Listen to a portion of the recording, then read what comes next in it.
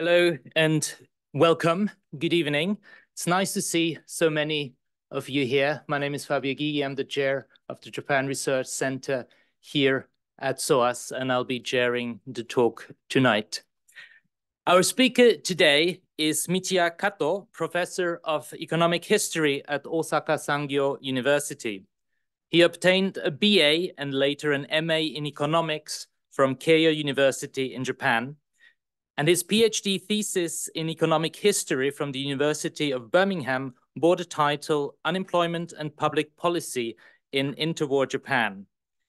His main research focus is on the Japanese colonial bureaucrats' perception of the British Empire, and he has published widely and comparatively on colonial governance with articles and book chapters about Japanese colonial mid-level bureaucrats' perceptions of Ireland and India and the knowledge exchange that underpinned colonial projects.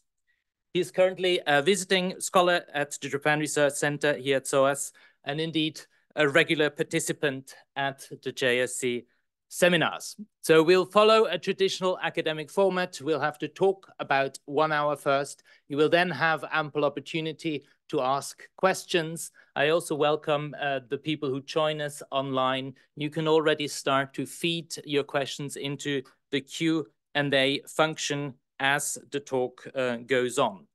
So the talk tonight bears the title, Japanese Colonial Bureaucrats' Perception of Colonial Rule. What did they learn from the British Empire? We will, after the talk, retire to the senior common room here in a new attempt uh, to wine and dine you and bring in um, some cheer and merriment after the talk. So please stay here afterwards and we'll assign you somebody who can take you up through the new and improved security measures that uh, make movement in the building somewhat difficult. Now, please join me in welcoming Professor Kato to the JRC. Thank you very much. Uh, thank you very much uh, for introducing me. Uh, I'm nervous, but uh, uh, first, I, I, I thank JRC uh, and especially uh, Fabio Gygi sensei uh, uh, for your kindness to give me the opportunity, precious opportunity uh, to the presentation in front of all of you. And I'll do my best. thank you. And my presentation is about 50 to 60 minutes. So please be patient for a while and uh, look at the uh, PowerPoint there. Uh, then uh, let me uh, start my presentation. Uh, first, introduction. this presentation analyzes the career and activities of colonial bureaucrats who worked in pre-war Japanese colonies and spheres of influence to clarify their perceptions of colonial rule and use this as a clue to unravel Japan's colonial governance thought. As a result of Japan's victory in the Sino-Japanese War that broke out in 1894, Japan took possession of Taiwan and became an imperialist country with the colony.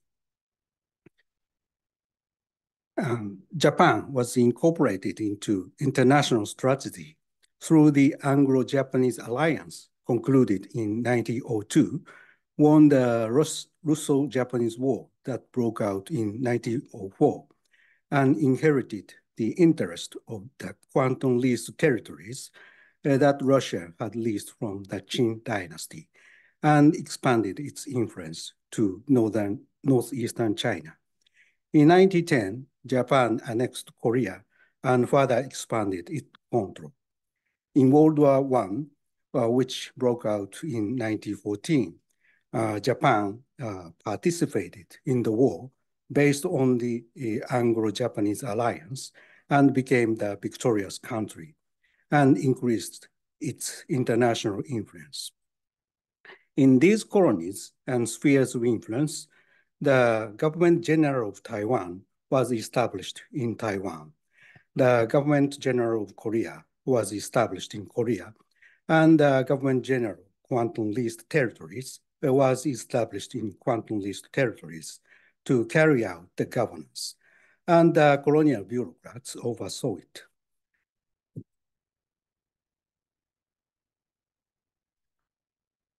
Um, in recent years, there has been an increase in research from a variety of perspectives, including the careers and activities of colonial bureaucrats and the roles they played because they most realistically embodied the reality of the Japanese Empire's colonial rule.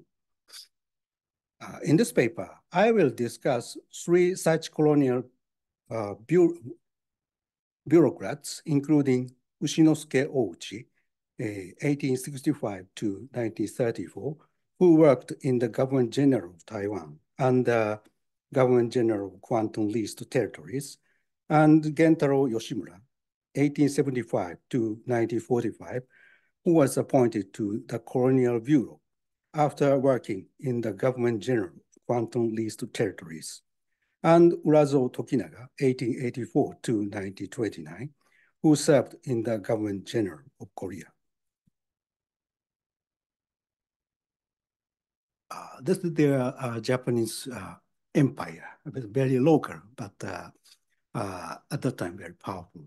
And this is the British Empire, uh, the, the worldwide empire, as you see. And these are the colonial bureaucrats I talk about uh, today. The Ushinosuke Ouchi there, uh, this is most left one. The center one is uh, Gentaro Yoshimura, and uh, Urazo Tokinaga, the most right one.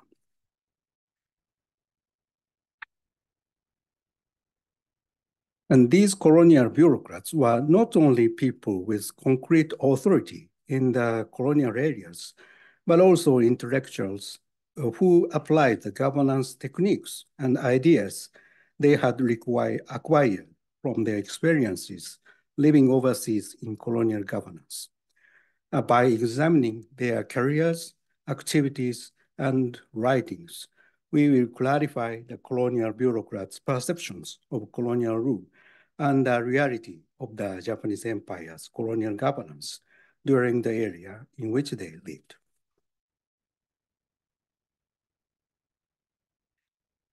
Uh, first, uh, I'll uh, talk about Ushinosuke Ouchi.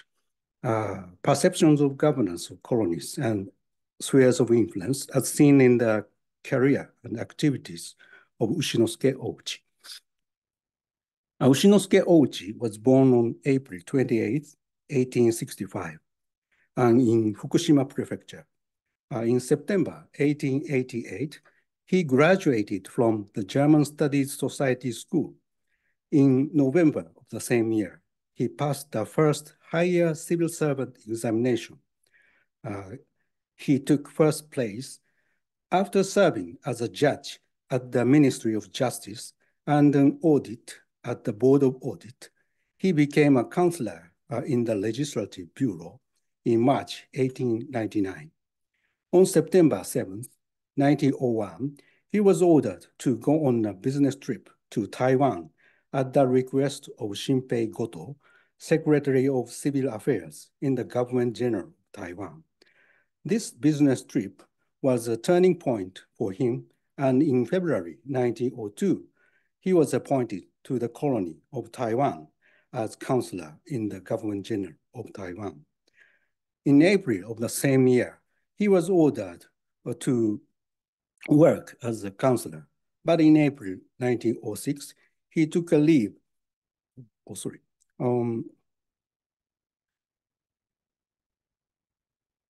in April of the same year, uh, 1902, uh, he was ordered to accompany Shinpei Goto on, uh, on his tour of Europe and America and stayed in Germany until September 1903.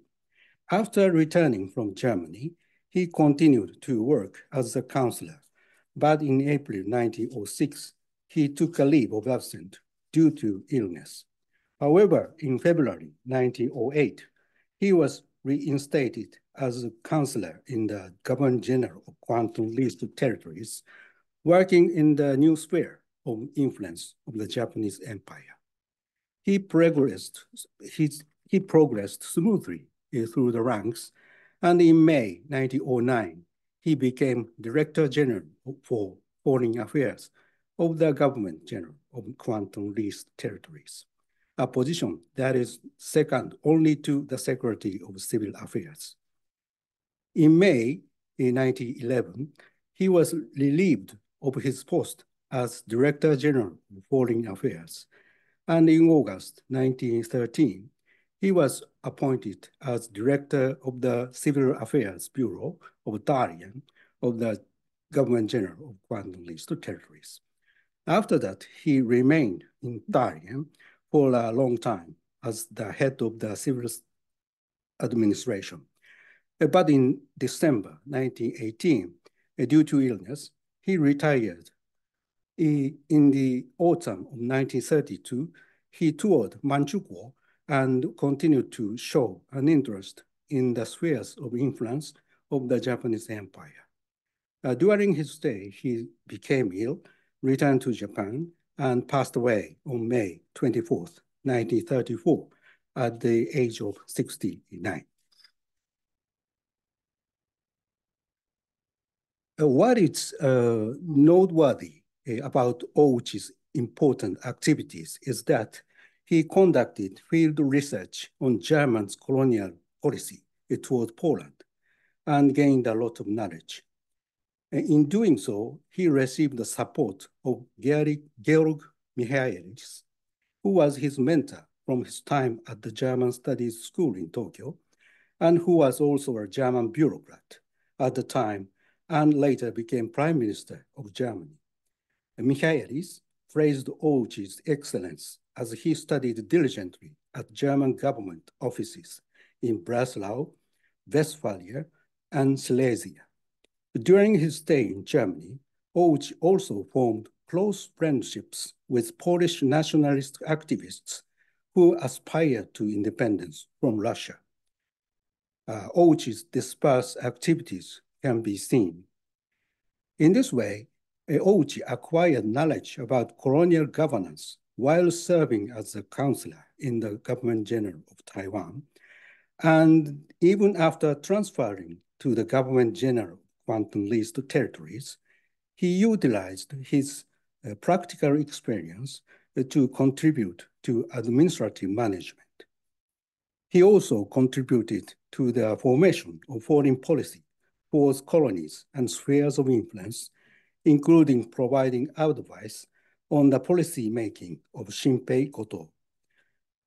Tokuzo Komai, who later served as Secretary General of the State Council of Manchukuo, highly praised Ouchi's governance concept and recalled that it had a great influence on the way Manchukuo was governed. Then uh, let's look specifically at Ouchi's understanding of colonial rule. In an article uh, titled Political Situation in Poland, published in the Taiwan Daily News on 19 September 1903, he stated as follows. Uh, that, then uh, I uh, refer to the red, red part. Uh, Germans' rule of Poland did not work easily. Given these circumstances, Germans' rule of Poland cannot be said to have been a success. But if you look at the various policies in detail, there are many things to learn from Germany.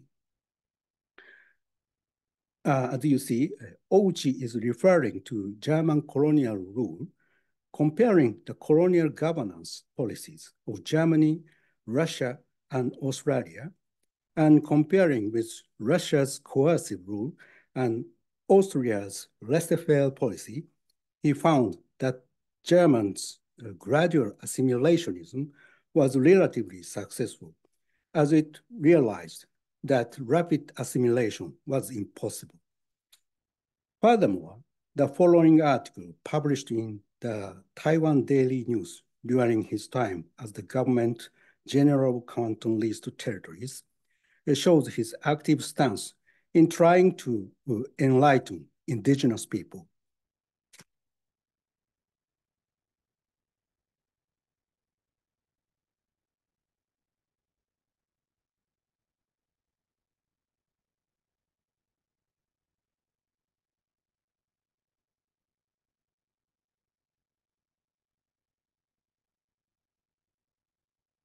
Uh, that Japanese em empire's rule over Taiwan uh, not only set an example for other ceded and occupied territories, but also led other countries to study its methods, making it a great highlight in Japanese colonial history.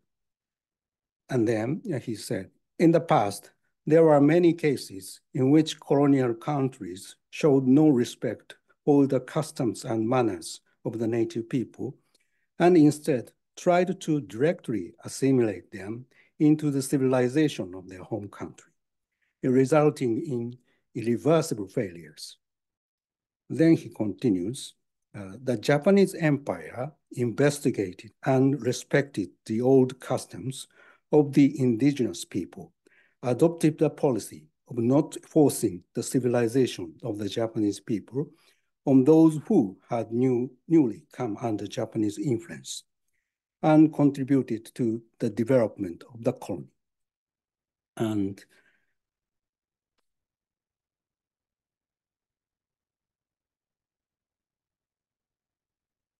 that, that uh, uh, part I read now. And I think it is important, last month, uh, for colonial policy to open the way for the islanders to be appointed as government officials uh, to enlighten them. So he stressed the importance of the enlightenment of the indigenous people.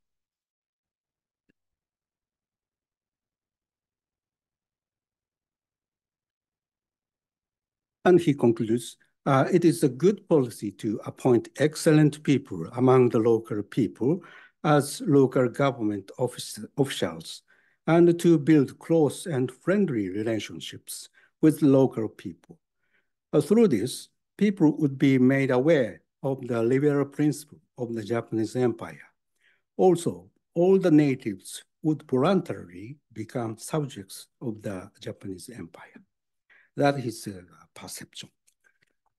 Ouchi considered the governance of Taiwan in which he was involved to be a successful example and argued that it should be extended to other spheres of influence, such as Karafuto, Korea, and Kwantung List territories. At the same time, he also emphasized the need to promote assimilation policies by considering local customs his argument that the special circumstances of a local uh, of a colony should be considered rather than a simple extension of the domestic law also suggests that a certain degree of discretion should be granted to those in charge of colonial administration. He suggested employing indigenous people as local government officials to enlighten them now, these ideas seem to be shared gradually among the colonies and spheres of influence with the transfer of Ouchi from Taiwan to the government general of Kwantung List territories. And uh, let me move to the second person, uh, Gentaro Yoshimura. Uh, perceptions of governance of colonies and spheres of influence as seen in the career and activities of Gentaro Yoshimura.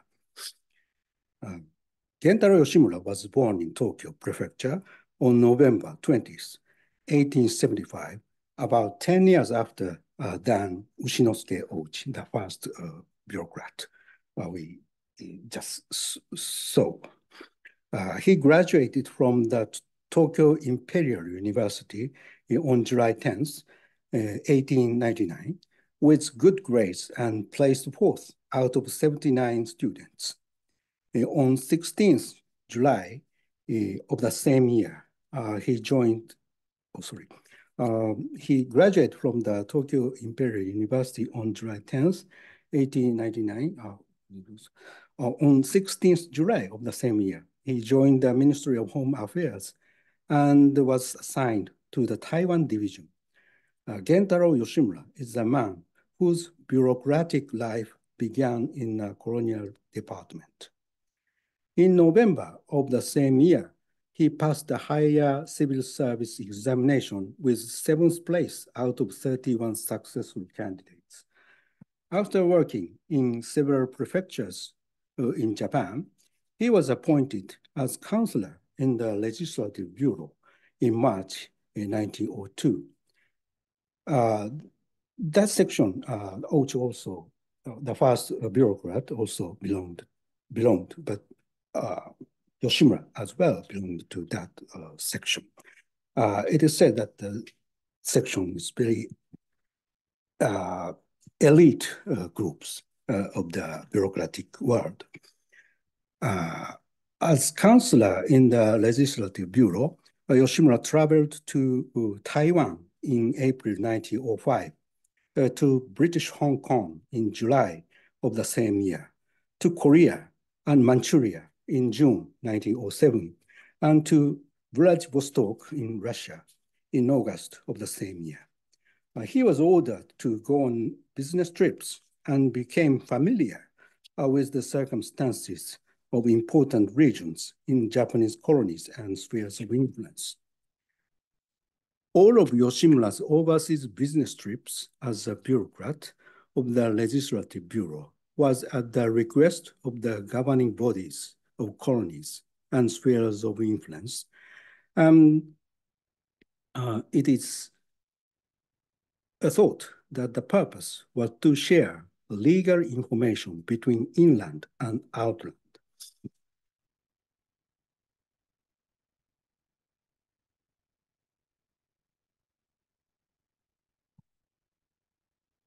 In July 1908, Yoshimura, who had deepened his knowledge of Japan's colonies and spheres of influence as a counselor in the Legislative Bureau, was appointed as counselor in the Government General Kwantung Leased Territories. In February 1909, shortly after taking up his post, he was dispatched to European countries, including Britain, the United States, and also Africa for over a year and a half to research on colonial governance. On May 9, 1910, while on a business trip, he was appointed director of the Darien Civil Affairs Bureau. But Yoshimura would play a more important role in local governance as a colonial bureaucrat. On May 29, 1911, Yoshimura was appointed to Director General for Foreign Affairs of the Government General of Kwantung Leased Territories and was to play an even more important role. As Director General for Foreign Affairs, Yoshimura uh, energetically carried out diplomatic negotiations with China and Russia. Uh, Yoshimura's life as a colonial bureaucrat seemed to be going smoothly, but on October uh, 5th, 1914, he took a leave of absence due to illness. Yoshimura's uh, medical condition did not improve, and he retired from the service uh, on November 2nd, 1916. He was 40 years old. After uh, his retirement, uh, Yoshimura was missed for his rich experience in colonial administration and wealth of knowledge. And in July 1917, uh, he was commissioned by the Colonial Bureau to engage in research on the colonial policies of the Western countries, mainly, mainly the British colonies. He produced many useful reports. Uh, Yoshimura also contributed to magazines such as Revue Diplomatique, and for many years conducted colonial research on a contract basis and many various recommendations regarding colonial administration. Yoshimura passed away on 21st August, just after his wife's death on 10th August 1945. He was at the age of 69. Yoshimura was an extremely talented bureaucrat. In fact, on May 12, 1910, the Mainichi Daily News, which reported uh, that he was appointed uh, the head of Darien Civil Affairs Bureau, wrote that he was the brightest student among his classmates, had a clear mind and was an extremely well-educated person. Yoshimura left behind numerous reports and essays on the entire British Empire, the largest colonial empire at the time. Then let's examine the contents of his main writings. His first essay was on Asianism, which was published in Asian Review by the Black Dragon Society in July 1917, just before he was appointed as a commissioned officer of the Colonial Bureau. Uh, this article was based on the Asianism that was being widely promoted in Japan at the time and argued that Japan should play a leading role in the international community, emphasizing Sino-Japanese relationship to compete with Western countries. Uh, it is as follows. The first red, red one, uh, Asianism was proposed to make Western countries reflect, and it aims to enable the people of Asia to achieve legitimate and free development, thereby contributing to world culture. And Japan and China are the same race and use the same script, Dobun Doshu, and the nature of our civilization are also the same. That is his uh, perception on Asia. In addition, he contributed an article entitled War and British Government Organization uh, to the same uh, uh, magazine, Asian Review. He argued about the Lloyd George's war cabinet in the United Kingdom during World War I. He pointed out that it was anomalous from the viewpoint of the party cabinet system and that the government was run by the very small number of ministers. He concluded that not only Britain itself, but the entire British Empire was at a major turning point. His first report, as commissioned by the Colonial Bureau, was Problem of Unity of the British Empire, published in July 1918. At the beginning of the, this report, Yoshimura drew attention uh, to the flower script on the statue of the Earl of Beaconsfield in Parliament Square, which he once saw, showing that the motto that used to be empire and freedom was now uh, empire and unity. And he, the, the, the, uh, he's uh, saying, I was, uh, I was once in London and on the occasion of Earl of Beaconsfield's Jubilee in spring, I saw his statue in front of the parliament decorated with primrose flowers. Normally, there is a flower script that says empire and liberty, but today it says empire and unity, which made me feel the change of the times. And uh, he, he varied uh, a situation of the uh, uh, British Empire. In so-called dominions, the scope of autonomy is extremely wide, and they have come to occupy a status that is almost independent of their home country.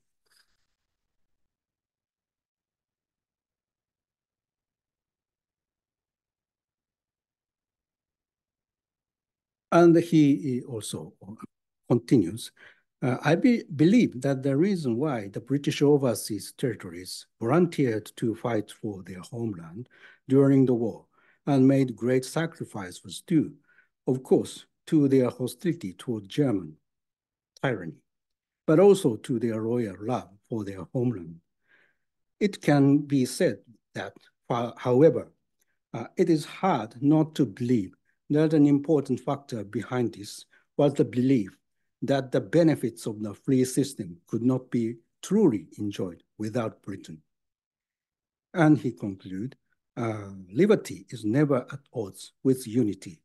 With the foundation of liberty, unity can be fully effective.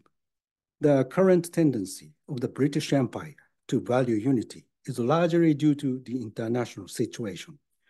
But this would not happen unless it rules on a colonial policy that embodies the true values of liberty and unity. In the report, Yoshimura discussed the status of the self-governing territories that made up the British Empire, considering them as an ideal type of empire, and the effectiveness of various policies implemented to maintain the unity of self-governing governing territories with a high degree of autonomy. He verified this and at the same time pointed out its limitations due to changes in the times. An interesting point in problem of unity of the British Empire, uh, his report, is that it pointed out that to maintain the unity of the British Empire, it was important to stabilize governance in the directly ruled colonies such as Ireland and India. There is a difference between self-governing colonies such as Australia, New Zealand, and Canada, which were formed by immigrants from Britain and were given a high degree of autonomy, and directly ruled colonies such as Ireland and India, where inter-ethnic governance was the central issue. Yoshimura's report had been researched and focused on inter-ethnic governance policies, and it reflected the inter-ethnic governance problems that the Japanese empire was also facing. His representative report, Irish Problems, was written in August 1918 the Easter Rising that occurred in Dublin during World War I, when self-governing colonies cooperated with Great Britain, caused a great shock internationally. But Yoshimura argued that there was a deep-rooted anti-British sentiment in Ireland in this background. And he said, oh, this is the uh, the statue of Beaconsfield. Uh, the historical one and the right one is uh, I took uh, recently. And about uh, iron, he said, um, it is hard not to believe, uh, oh, sorry.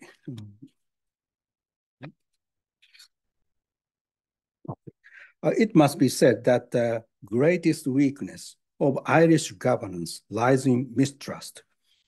That is the, uh, his uh, perceptions on the Irish problems.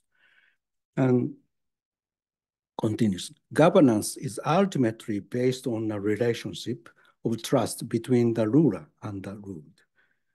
And unless the ruler believes in the ruled, and the ruled does not believe in the ruler.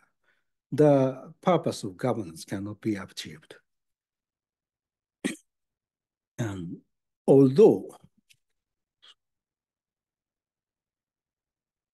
although there are various forms, the important point of governance is the fiduciary relationship between the home country and the colony. Britain had no sympathy or understanding for Ireland. And Britain implemented a stopgap policy and did not foster trust between Britain and Ireland. As a result, the difficulties of governing Ireland were never resolved. But that is the main uh, perception on Irish problems. Uh, this report had a huge influence on Urazo Tokinaga, the third bureaucrat uh, report of the same name, which will be discussed later. And the information contained in the report was referenced and shared among colonial bureaucrats later. Uh, Yoshimura also wrote several reports on India, a colony under the direct control of the British Empire, which had become significantly more important within the British Empire since World War I. What kind of governance policy should be implemented in India, which was longing for a legislative assembly and responsible government, was an urgent issue for the British Empire. Uh, furthermore, Yoshimura compiled a report titled Indian National Movement, which was printed in March 1921, detailing the historical development of the intensified Indian national movement and attempting to examine the essential nature of the national movement. In March 1921, uh, two important reports were written. Uh, there are on the Union of England and Scotland and Irish revolutionists and Bolsheviks. The former tried to provide clues to solve the Irish problem by exploring the, the factors behind the success of Scotland, which is a different ethnic group but was successfully integrated with England in comparison to the confusing Irish problem. The latter also argued that the Irish independence movement had been transformed by the rise of Sinn Féin, making it difficult to resolve the Irish problem.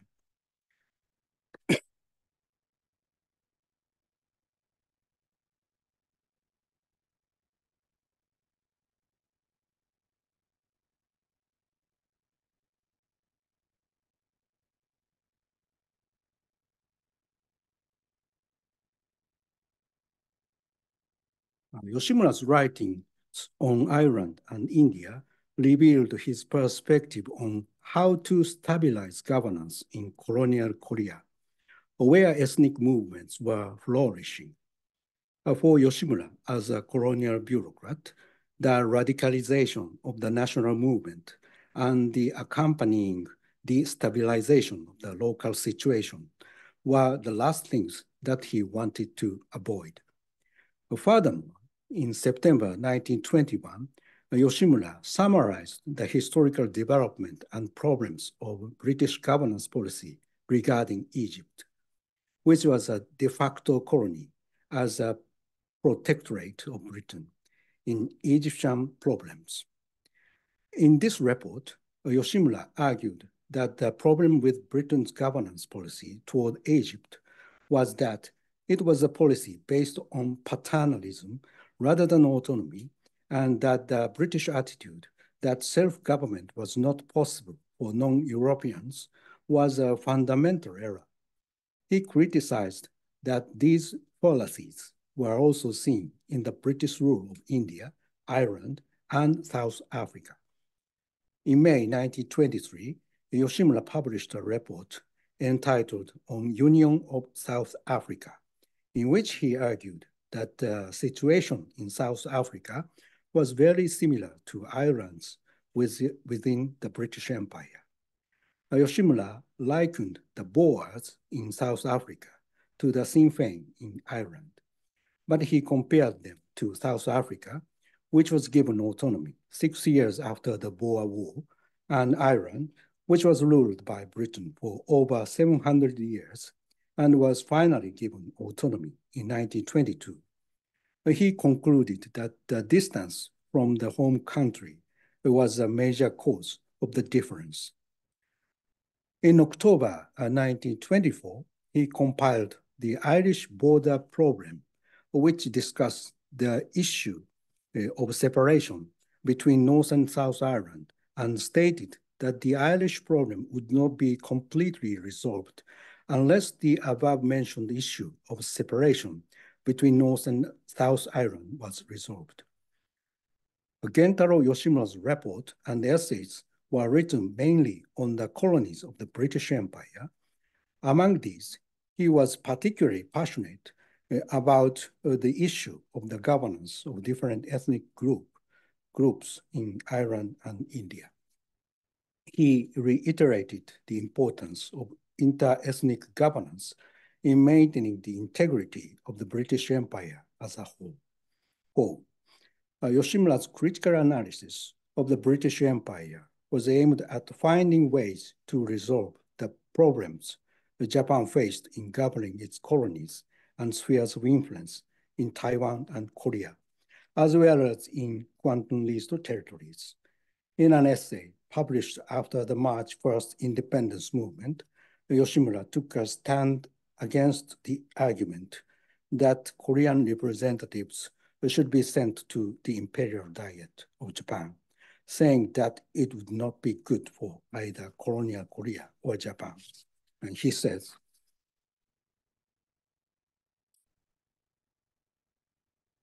the uh, red part, uh, it is clear that sending Korean representatives to the imperial diet was not the only means of making Koreans aware of their status as imperial subjects.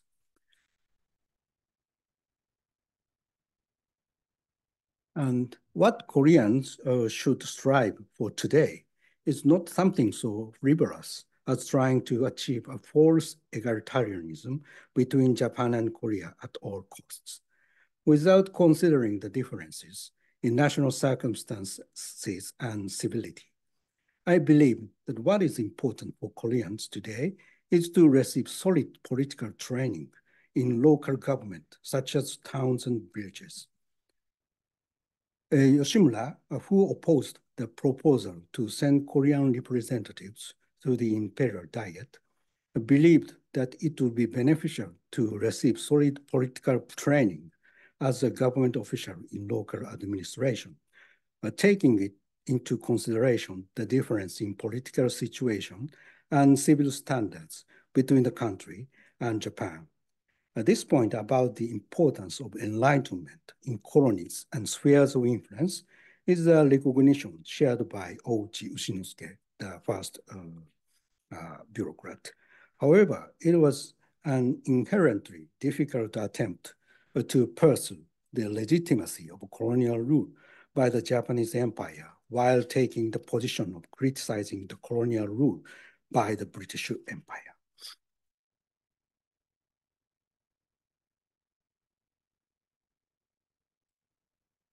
And next, I, I move to the uh, third colonial bureaucrat, uh, Urazo Tokinaga.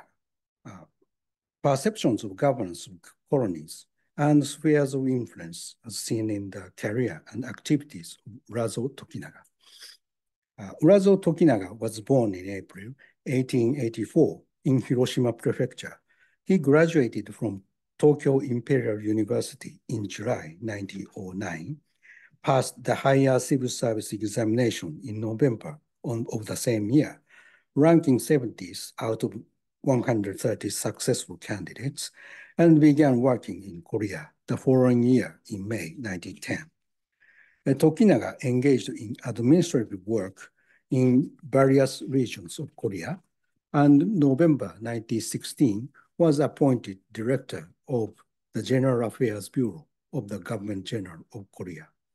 The following year, in October 1917, he was appointed chief of the Internal Affairs Department, and in October 1918, he was appointed chief of the Security Division of the Inspector General of Police, a position in which he was involved as a civilian bureaucrat in maintaining public order in the colony, uh, which was then under the control of the military police.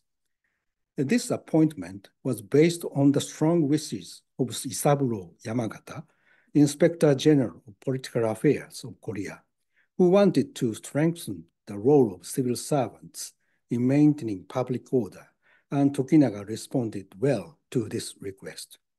In July 1919, he current, concurrently held the post of Chief of the High Police Division of the Inspector General Police Affairs Department and was given sole responsibility for police work as a civilian officer. On September 25, 1919, Tokinaga was appointed as counselor in the Government General of Korea, and his skills as an executive were expected to continue. In November of the same year, he was ordered to go on a business trip to Europe and the United States to investigate the current state of, of anti-Japanese public opinion in the United States, which had been influenced by the international rise of national self-determination advocated by the US President Woodrow Wilson, and to grasp the current state of the Korean independence movement in the United, in the United States. On the 25th of November 1919, he left Yokohama by ship for America.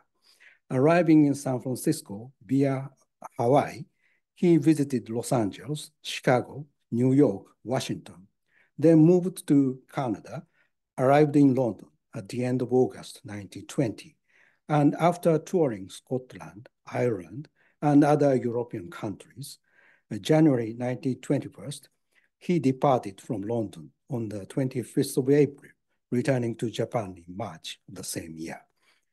Uh, Tokinaga routed the United States, toured the United States and submitted the report from Washington titled Report on the Investigation of the Korean Independence Movement in the United States. It was later compiled and used by the Police Bureau in Korea as an internal report in September 1921. Upon arriving in England in August 1920, Tokinaga was ordered by the Governor General of Korea, Makoto Saito, to investigate Ireland and visited Belfast, where he conducted a field survey of Ireland, where the movement for independence from Britain was intensifying at the time. Tokinaga compiled the report Irish Problems by referring to that investigations and the report of the same name by Gentaro Yoshimura, the second bureaucrat. Thereafter, Tokinaga was expected to make use of the experience he had gained as a bureaucrat in Korea and the mainland, and in October 1922, he was appointed director of the Home of Affairs Bureau of Oita Prefecture. In September 1925, he was appointed as governor of Miyazaki Prefecture, and in September 1926, he became governor of Saga Prefecture, but took a leave of absence due to Ill illness and passed away on February 7, 1929, without returning to work. He passed away at the age of 44. Looking at Tokinaga's career, it appears that he was primarily engaged in establishing police administrative system in the colony and related work. In colonial Korea, where he was assigned how to moderately suppress the national independence movement was a critical issue. His time in Korea coincided with the period of change in Japan's colonial governance policy from a coercive policy to a moderate one. As a civil official, he worked hard to promote the transition from a system led by military force to a civilian police system. The knowledge and experience he had gained through research had shown that the coercive governing attitude would have the opposite effect. Japan's colonial rule faced an important turning point in Korea, and Japan was facing international criticism for its colonial rule. The problem faced by Japan as a newly emerging colonial empire were also the problems faced by Britain. In particular, Ireland, which had a similar geographical location to Korea, experienced an intensification of its independence movement during Tokinaga's tenure. The independence movement in Ireland, which violently shook the British colonial rule, also brought a great sense of crisis to the Japanese colonial rule and the colonial governor general ordered Tokinaga to research Ireland and the United States and strove to establish a governing policy in colonial Korea. Uh, Tokinaga's understanding of colonial rule can be learned from Irish problems and uh, Korea, which is the record of a lecture he gave at the police training school in Seoul. His, here he says,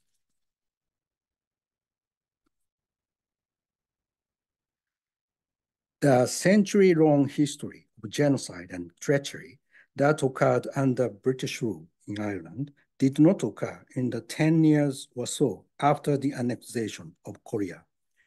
The imperial government of Japan is making sincere efforts to promote the peace and happiness of Korea.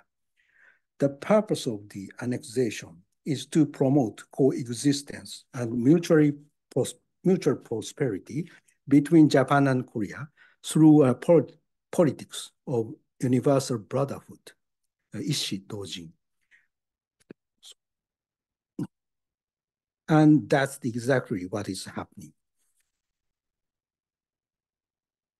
And continues, uh, if Japan tried to rule Korea by a policy similar to British policy towards Ireland, the same result would occur.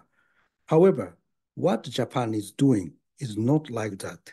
It is fair and just. That is his uh, perception. And he continues about the United States.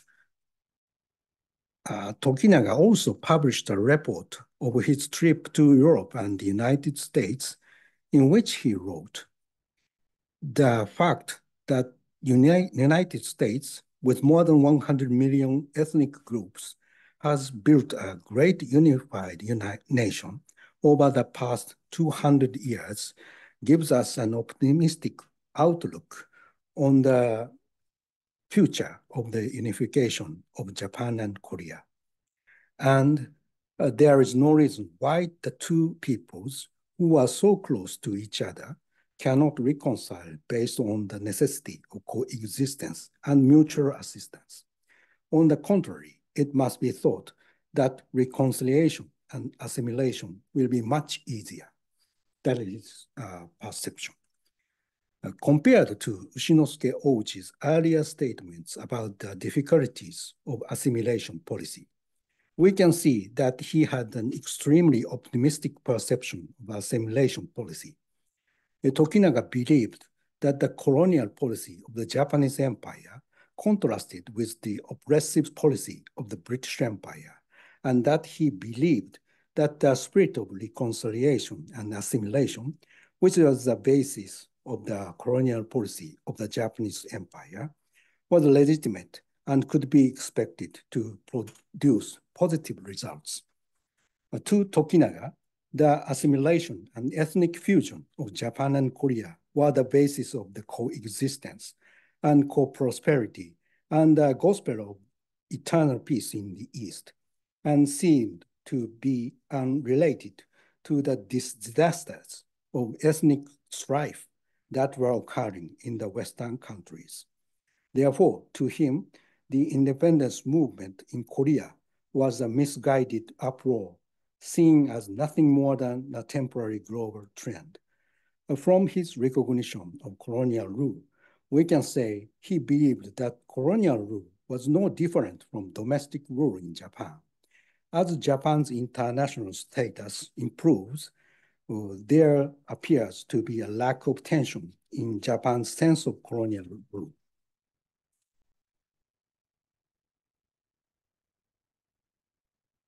And next uh, section. Uh, what did colonial bureaucrats learn from the British Empire?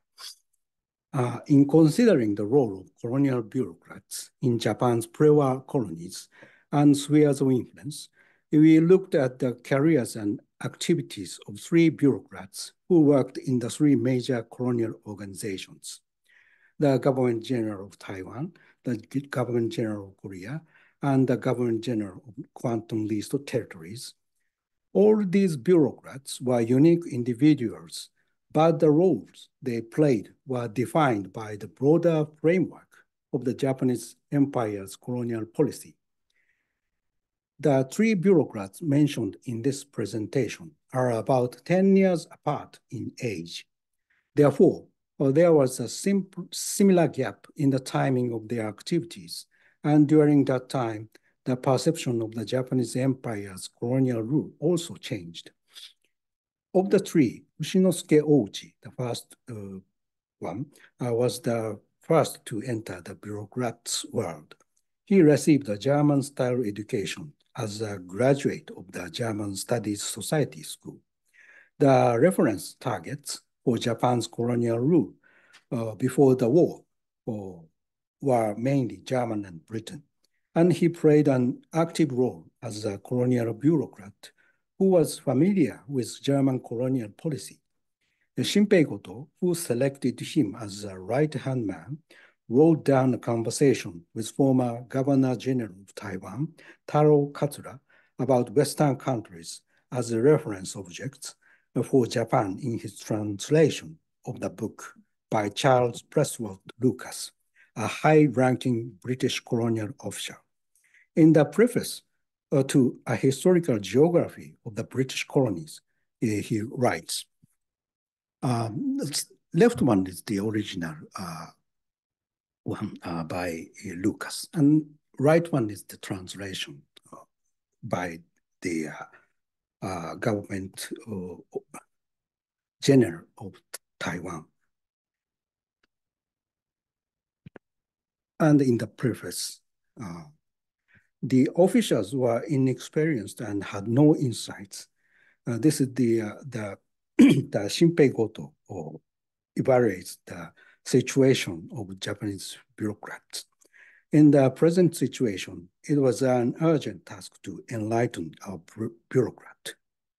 And I think that Conrad's colonization theory in the Dictionary of National Studies of German is concise and convenient to know the outline, and in a book entitled A Historical Geography of British Colonies by the uh, British Lucas, we can find numerous traces of the, the settlement of the colonies of immigrants and the British Empire dominates the world of colonization.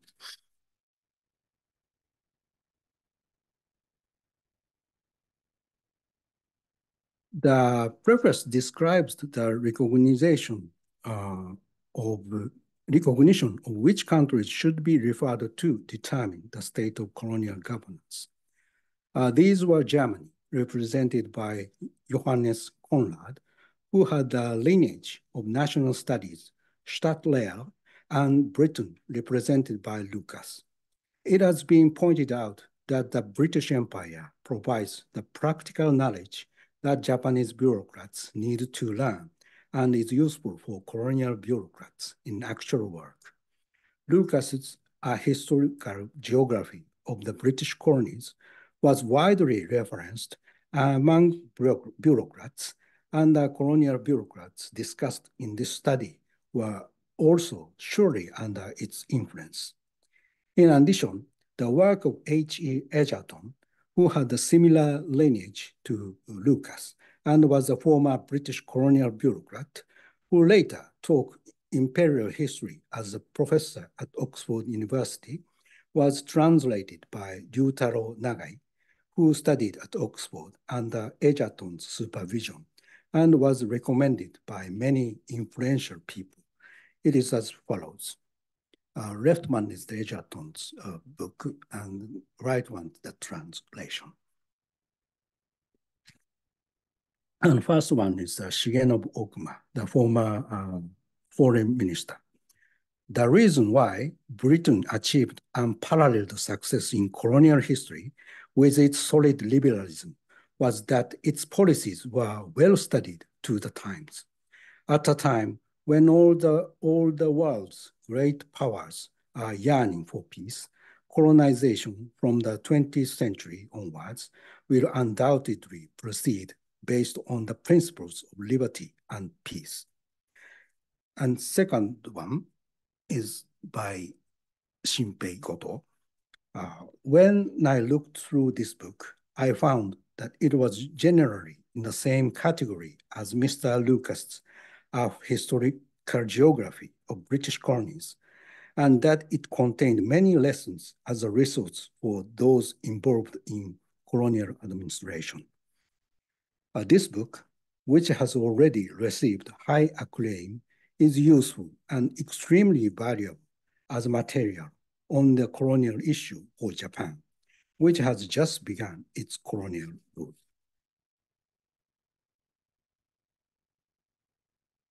And third one is by the uh, translator.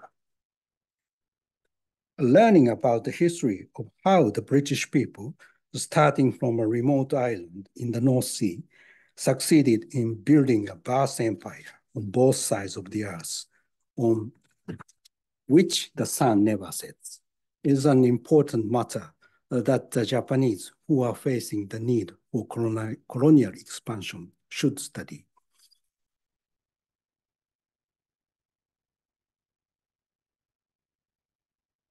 And furthermore, the work by work by Lord Cromer, former Consul General of Egypt, who oversaw governing Egypt, was translated, highly acclaimed, and used as a reference for Japan's colonial governance of Korea as follows. Uh, the left one is the original book, and the right one is the translation. And uh, it is said, Lord Cromer's colonial policy did not adhere to the principles of the two political parties in his home country, but instead aimed to provide good government for the, the uh, Egyptian people, establishing and maintaining a system suitable for Egyptian people. And the Lord Cromer rejected the Liberal Party's attempt to implement a constitutional government in Egypt, calling it a utopian policy.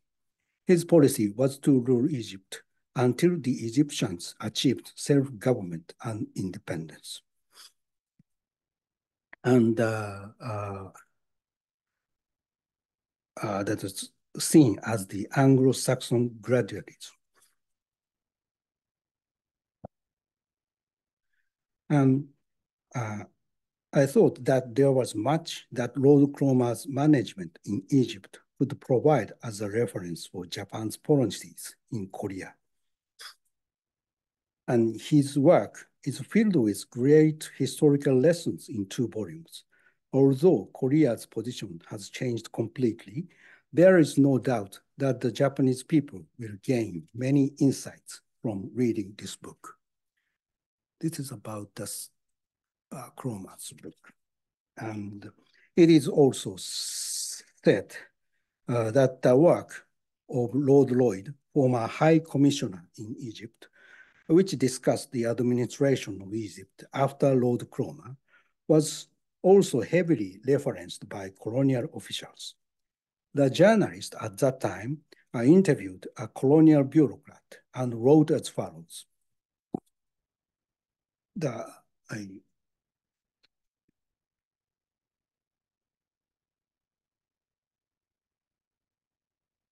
the uh, first of these concerned a talk uh, I had with Tani Masayuki, the counselor to the Japanese embassy in, in Hsinking. Is Hsinking means uh, today's uh, Changchun. Uh, the, uh, the capital of uh, Manchukuo, uh, whom I had known well when he was in Tokyo and who was later to become foreign minister. Referring to Lord Lloyd's Egypt since Cromer as a Bible, he spoke enthusiastically of it as a guide for himself and other Japanese officials engaged in drawing up policy plans for Manchukuo by noting where British policy and administration in Egypt had success and where it had failed. It was hoped to avoid the British mistakes and apply to Manchukuo those measures which had brought success. And furthermore, uh, another lesson derived from Lord Cromer's book, he said, was that emphasis on higher education tended to create half-baked students and disgruntled uh, intellectuals. What was required for a backward agrarian people was a sound practical education to assist in raising the standard of agriculture and uh, generous physical and moral development of the people. And lastly, the British policy in Iraq was being studied closely with the view to putting Manchukuo firmly on its feet. Then, with a, twinkle in his eyes, uh, he added, but we do not propose to urge Manchukuo to enter the League of Nations. That's the uh, Japanese bureaucrats' perception on indigenous people.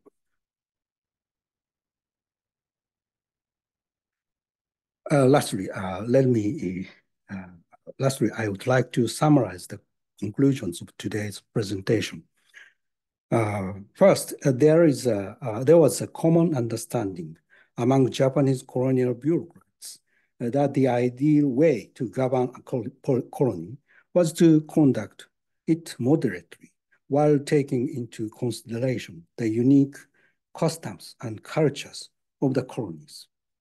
And second, in terms of colonial rule, the prevailing trend was to refer to the colonial governance policies of the British Empire and apply them to the actual governance of colonies and spheres of influence. In doing so, Japan sought to adopt Britain's successes and avoid its failure. Third, Japan's colonial bureaucrats' perception of governance changed over time as Japan's international position changed. The Japanese colonial bureaucrats' understanding of governance gradually shifted from the way of referring to the German Empire, which centered on the acquisition of knowledge, as seen in Ushinosuke Ouchi, the first bureaucrat, uh, to the British Empire, which gradually became an important country for reference. However, Japan became more critical of Britain as time passed, based on the uh, Asianism claimed by Yoshimura, uh, the second bureaucrat. After passing through a critical reference by Yoshimura, that includes skepticism towards the British Empire and a relative affirmation of Japanese imperialism, Tokinaga, the third bureaucrat, led to a negative reference to Western policies, including British colonial policy and a complete affirmation of the Japanese empire's colonial policy. Uh, these changes in the colonial bureaucrats' perception of governance coincided with the rise in the status of the Japanese empire in the international community, which after World War I uh, came to claim itself to be a first-class country. Initially, it was uh, recognized that the targets of the Japanese empire's colonial policy were other peoples with different ways of thinking and customs, and that it was necessary to handle such governance with caution. Uh, however, this recognition gradually weakened, and the situation came to be such uh, that only the logic of Japan's domestic governance uh, took priority in the Japanese empire. Uh, this change in the perception of rule is embodied in the three bureaucrats I talked about today. Uh, thank you very much for your uh, attention. Thank you. Thank you very much for a very in-depth and very detailed talk. Let me just um, unshare the screen here. So this is, it was like a tour of colonial discourse starting from 1900 to the 1920s. Um, and I was wondering, because of the three people that you mentioned, uh, Ouchi passed away in, in 32, Yoshimura was the only one to live to experience the war and the implications of um, Japanese colonialism and Japanese empire. Um, Tokinaga also passed away quite early. So I wondered whether there was later on in, in Yoshimura's life, whether there was a reflection on, on what had happened and whether there is any kind of information available. So that would be one question. And the second question is, I, I was I was very struck by the fact that of all the three colonial officers, only Tokinaga had direct experience of the colonial situation. Both of uh, Ouchi and Yoshimura um, experienced Europe, they experienced Britain.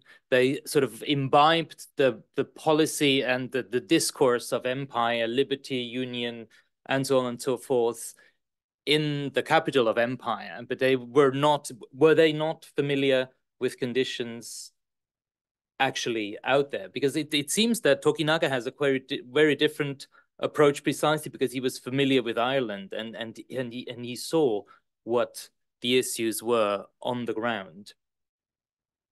So do you do you think there is there's a big difference, uh, or the, the difference comes from uh, that um, the fact that they that, one of them had been exposed to what colonial rule means on the ground, while the other two um, had more sort of an appreciation of the ideology that comes with it. Mm. Sorry, I got question to uh, question. The, the first one is uh, Yoshimura live long. Yes. And uh, after that, sorry. Do we have any documents uh, of his later life where where he maybe changed um, his evaluation of colonial policy because he experienced he's the only one who experienced the war, uh, who experienced the perhaps the fall of empire hmm. um, at the end, or at least lived through a time where this became increasingly um, possible. The second one is there. The, the second one is more uh, about the direct experience of the colonial situation. Uh, because mm. Tokinaga was in Ireland, as you said, yeah. um, while both Yoshimura and Ouchi had never had they ever been to India, for example. Um, or to other parts of the British Empire where they saw how mm. the rule works on the ground, so to speak. Sorry, very complicated. Okay. The first one, uh, Yoshimura, not Yoshimura. Um, yeah. Mm, yeah, Yoshimura is probably the the only person who, who saw the what uh, happened to the British Empire uh, before the World War II. Um, um, the materials of um, later, as uh, Yoshimura died um, in 1945, so uh, before just before the end of the World War II, so uh, the three bureaucrats all, all were dead before the war. But uh, uh, in general, I mean, about Yoshimura, uh, regarding Yoshimura, uh, Yoshimura uh, adored the British Empire uh, anyway, but he also saw the limitation of the empire. The what is that uh, Yoshimura think the, the uh, dominions are okay. That's the idealistic. But uh, when British people, British government govern, try to govern the uh, other ethnic groups, uh, they failed. They uh, Yoshimura evaluated. Right. And uh, uh, of course, Japanese should avoid that way. And uh, but uh, I'm not quite sure uh, that uh, looking at the uh, materials I, I can collect and uh, show to you today shows the Yoshimura pointed out the British failure, but he also, in mind, evaluated Japanese empire also failed as well.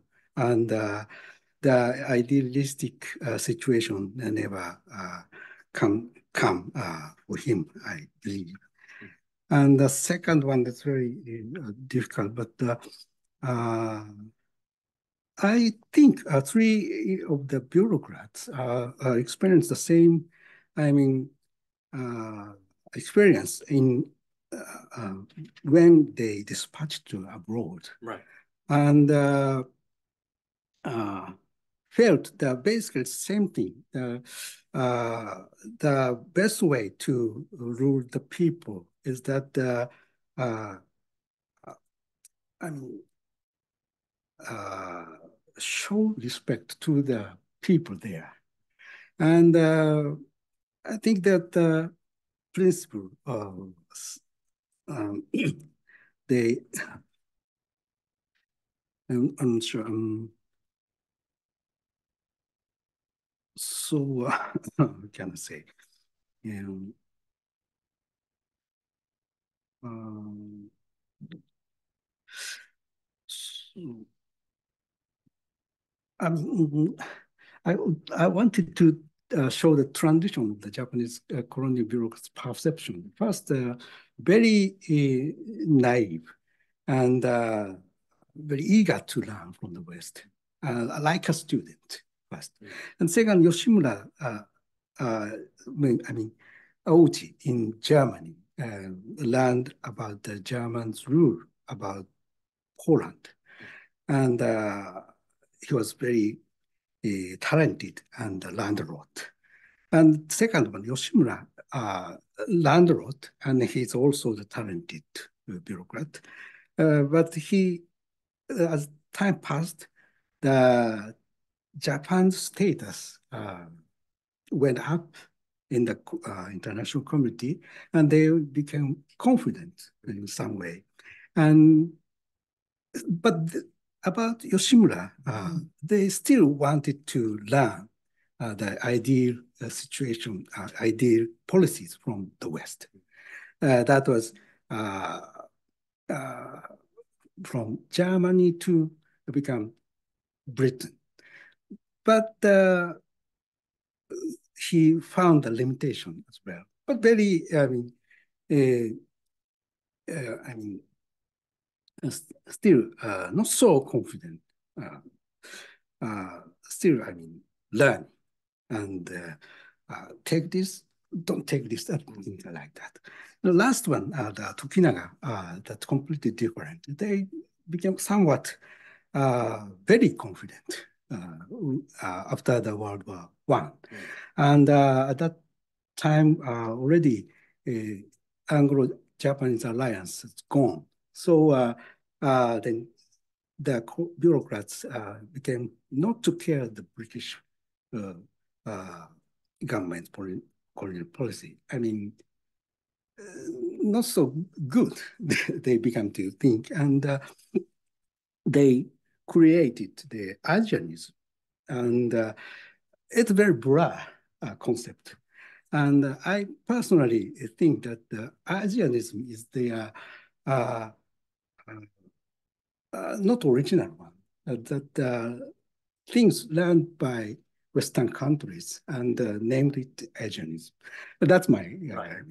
idea. But uh, a third one is different and misunderstanding the value of the importance to learn from Western country. And uh, that leads to the led to the tragedy of Japanese empire. Uh, I, I'm not sure whether. Thank you. Thank you. That's a quite. Thank you for your uh, Sorry. that response. Yes, uh, questions. Uh, let's start with the uh, Thank you so much for Thank very um, detailed and exciting stories about those bureaucrats. Uh, thank you. Um, I have a couple of questions, but I'm going to ask one. Oh. um, so these are the perceptions, right? Yeah. So how, so to what extent these perceptions actually influence the colonial policies? How, mm. you know, how did it, that did it directly influence colonial policies? Because the perceptions and actual policies are not necessarily the same. Yeah, yeah, yeah, you're right. Very, very essential uh, questions. And uh, actually, uh, the perception, uh, uh, well, perception is perception, and the actual policy is actual policy. And uh, the, that's very difficult. But uh, uh, I checked several reports being used for the policy making. And in that, the policymakers sometimes refer to the reports made by them. Uh, for example, uh, uh, Yoshimura uh, often, often uh, referred in his report. And this is very good for the uh, making, making the uh, policy, colonial policy. I think this is very small, I mean, fact uh, I can find in the report, report, report. Uh, so uh, maybe very weak to insist that the uh, that they influenced a lot to the actual policies. But uh, at the moment, I need to collect as much as possible, as many as possible, uh, like that.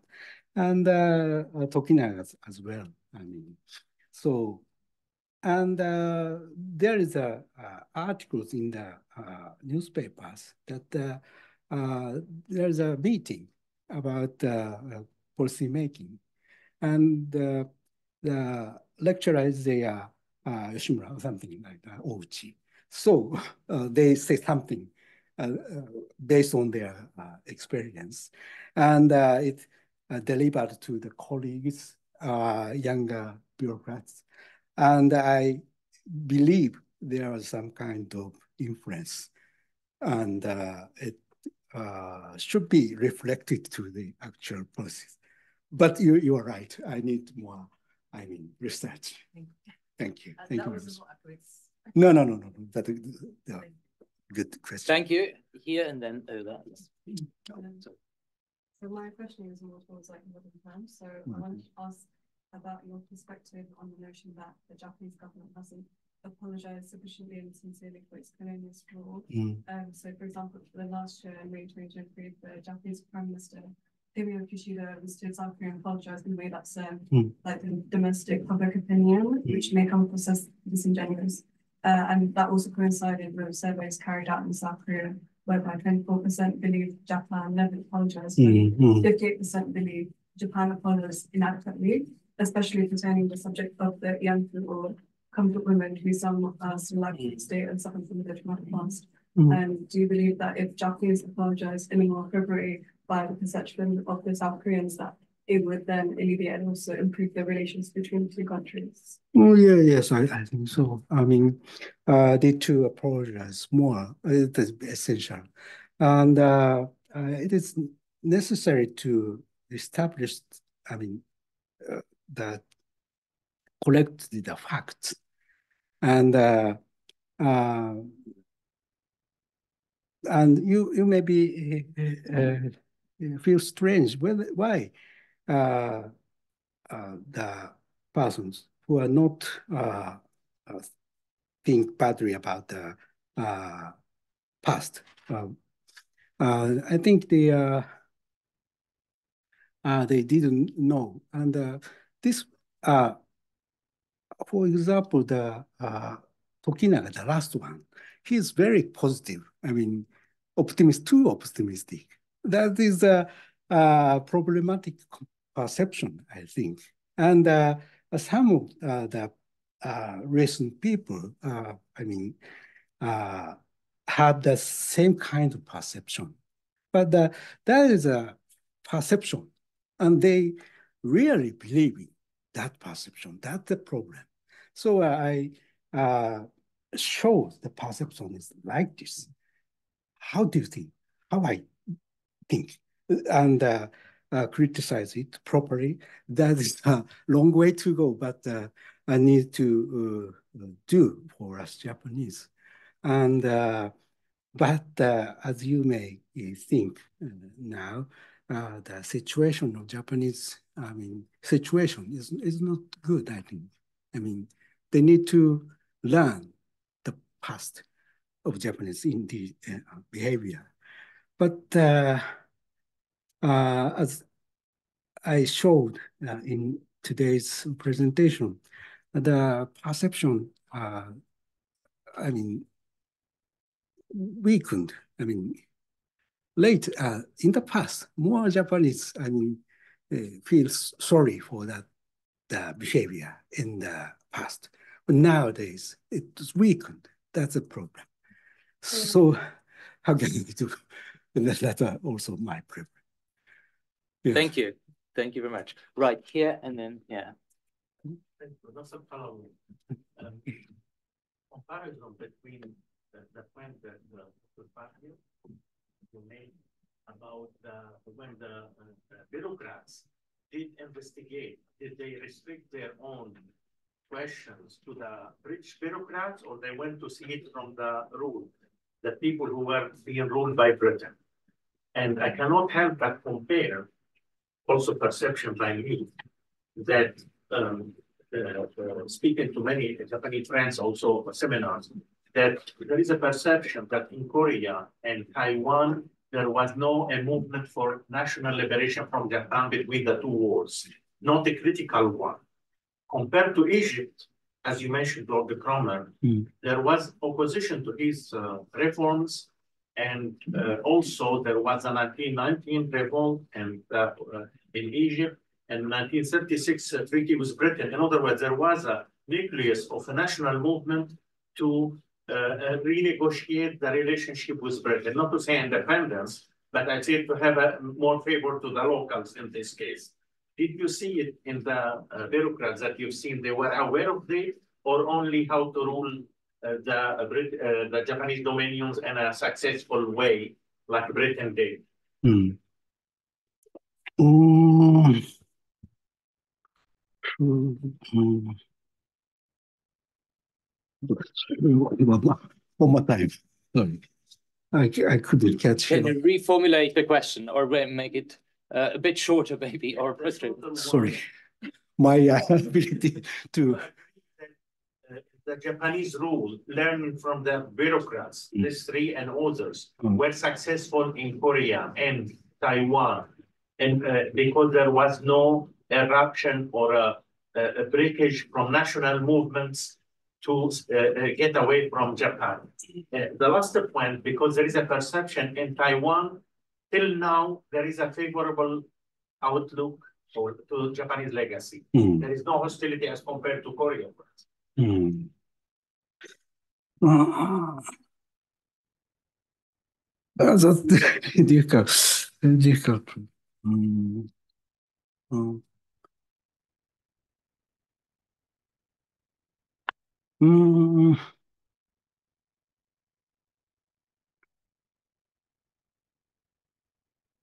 Mm. Okay, um, um, look, I mean, researching on the bureaucrats, um, uh, we can find the differences between the each colonies. And uh, one reason, uh, I mean, there are different situations there. And some are very uh, hostile to Japanese rule, uh, some part not so hostile.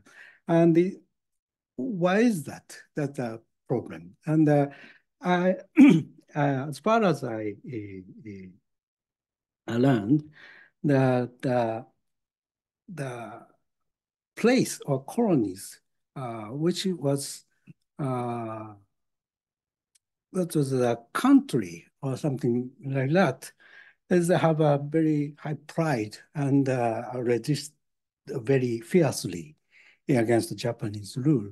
But uh, for example, Tai Taiwan is a part of China, and uh, uh, I mean it's very difficult to say, but uh, at the time, uh, uh, not a country, so some kind of regions. So it's considered to be weak protest there.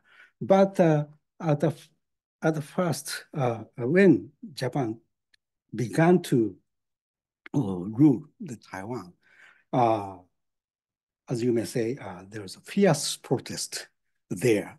So uh, uh, it's very difficult to uh, evaluate the strongness of the protest each in each areas. So I need to check more, I mean, learn more. Thank you very much. Uh, I, I think you are, uh, you pointed out very important things. Thank you. Thank you. I I think it's also safe to say that if you learn about um, the success of the Egyptian case from an autobiography by Lord Cromer himself, that there will be very little about the, the shortcomings, perhaps. Thank you. Yes, please. Um, thank you, Professor, for a great talk. Yeah. Um, so we were talking about the, uh, the perceptions of the bureaucrats on the uh, British colonial law and philosophy, but you have also mentioned the, uh, general role of Poland and also the United States and the British in Egypt. But I'm very kind of, I am wondering about whether they have any perceptions towards the French imperial style, because it's somehow different from the in, uh, from the uh, British one, the French were very interested in creating French citizens out of the uh, indigenous colonies. They wanted to create a French Algeria, for example. Right. Uh, they express the local cultures. I'm interested in knowing whether they do have any kinds of perceptions or kind of criticism maybe. Okay. Yeah, yeah. Thank you very much for your question. Um, um, when Japanese uh, uh, try to learn from what country, uh, you are uh, the problems you pointed out uh, uh, occurred. And about French, it is said when Japan tried to, when Japan first acquired, got Taiwan as the colony, first colony, they had no method. So they tried French way first. And uh, it is said that failed because they uh, French, as you you said, uh, um, I mean, assimilation is very uh, uh, strong rather than British case. So uh, it doesn't work. Japanese colonial bureau thought. And then the next, where should we learn from? And then they uh, chose the British way. So uh, the way of colonizing people uh, different from the uh, each uh, each uh, countries, uh, British way, German way, and French way, and uh, in uh, about Japanese case, French case, uh, not so seen as important and then the German way or British way. And uh, first, uh, they were equal, uh, evaluated equally. But uh, as the uh, German uh, lost the war, First World One, they abandoned the German way and chose British way. So, I mean, there are dif different evaluation about different countries' colonization policy. Um, that is very important. Thank you. Thank you. If there are no further urgent questions, I think we've reached uh, the end of our talk. Thank you very much, Professor Kato, for a fantastic talk. There will be the opportunity to ask further questions. Do join us in the uh, senior common room. If you don't know how to go there, latch on to somebody who does know. And do come back next week uh, when our very own Dr. Monika Hinkel uh, will speak about her curatorial work for the Dulwich Picture Gallery, where she's in the process of putting on an exhibition called Yoshida, Three Generations of Japanese Printmaking, opening on the 19th of June later this year. Thank you very much for coming.